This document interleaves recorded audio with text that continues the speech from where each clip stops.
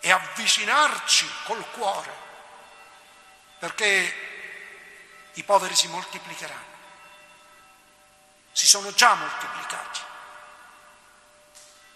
e soprattutto in situazioni, fasce sociali che non vivevano la povertà prima di questa, di questa tragedia immane. E per questo ci sarà bisogno anche di un progetto serio, perché già nelle nostre aree interne siamo poveri di popolazione e anche di strutture e di risorse.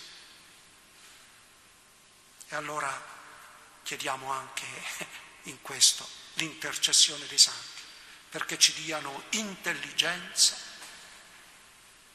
coscienza e umiltà per unire le forze in un progetto comune.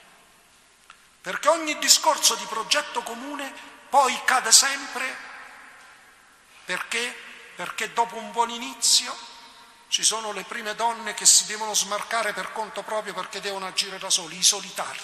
Non è tempo per solitari. Sarebbe un suicidio collettivo. E allora San Pio ci aiuti anche a capire questo.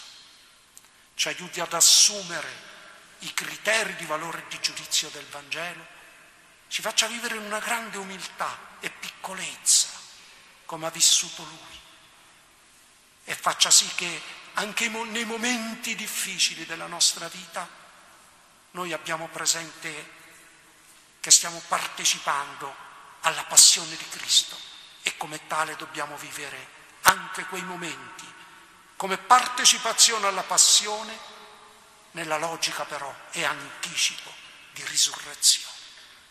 Sia davvero così nella vita di ognuno, nella nostra vita di singoli cristiani, ma anche nella vita delle nostre comunità ecclesiali, della Chiesa e anche della società.